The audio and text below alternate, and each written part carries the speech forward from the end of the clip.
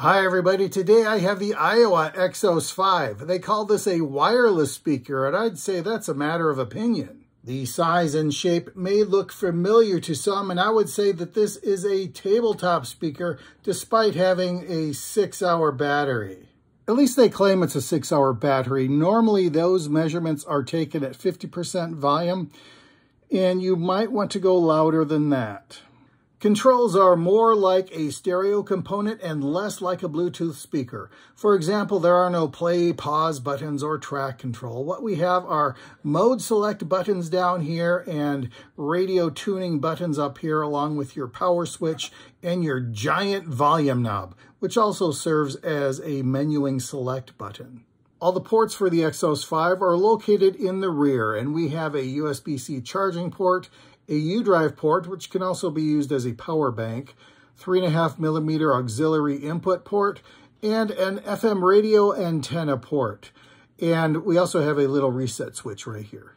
I think this is supposed to be a handle but it's not that comfortable to carry this speaker, and I think this is more of a tabletop design anyway. It doesn't have an IPX5 or 7 waterproof, dustproof rating, nothing like that. And if you want to listen to the FM radio, you have to plug in this thing, which is basically a, uh, it's probably like a four foot wire. You don't want to carry that around. You don't get any specifications, but if I had to guess, I would say we have dual 2-inch full range 10 watt drivers in the front and just some bass ports in the rear. When I say full range, I mostly mean mid-range. You're not going to get the deep bass. You're not going to get the high frequency treble. You will get a mid-range experience. However, to get the most bass out of the speaker, these bass ports actually do come in handy. Place them near a wall, in a corner, even on the floor helps. You will get the most bass you can out of the speaker, but be careful, you will get some distortion for the deep bass. You won't get distortion on the treble end just because it's just not capable of producing those frequencies. The power system is a little unusual. They give you a USB-C cord, which is fine, but on the other end is a transformer. That is the unusual part. I don't really mind this, and since this is meant to be a tabletop speaker, it's I don't have any problem that they provided you with this, but I I just think it's kind of odd that if they're going to go with a transformer, why do we have a USB-C cord? Can you charge this with a with a standard USB-C charger?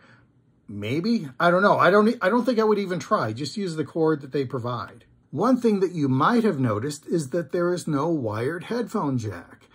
I can kind of understand that if your primary use is Bluetooth speaker, but since this is a tabletop radio, you might want headphones if you are listening to auxiliary input or U-Drive or FM radio. So it, it, feels like a missing feature.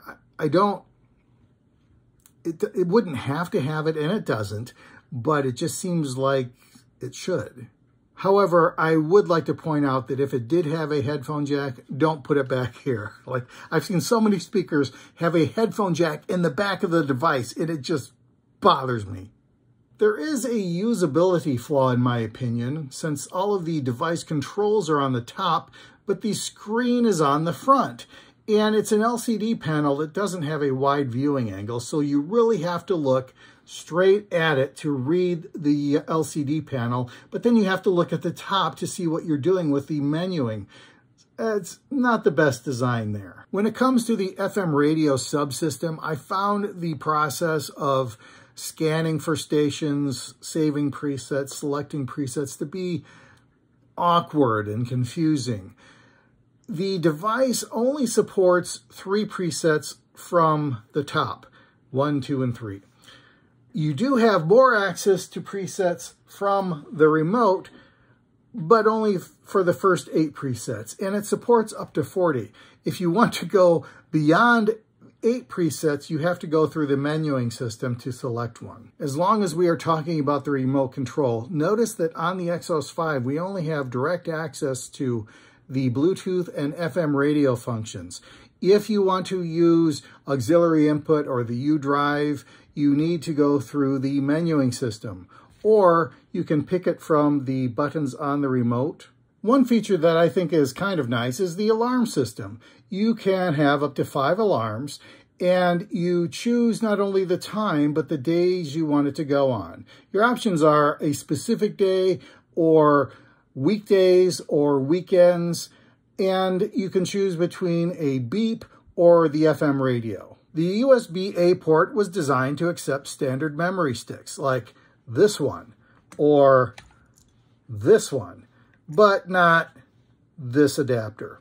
The reason why I say that is because it is spaced very close to the USB-C charging port and the three and a half millimeter auxiliary input port. So there just isn't room to have this with those other two things in use.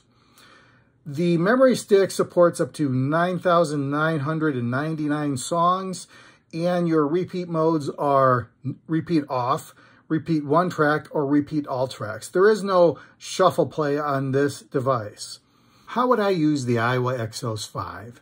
I see this as a kitchen speaker, desktop speaker, something on your nightstand, maybe a table in your study, something along those lines where you're not looking for a high fidelity experience nor an ear deafening experience.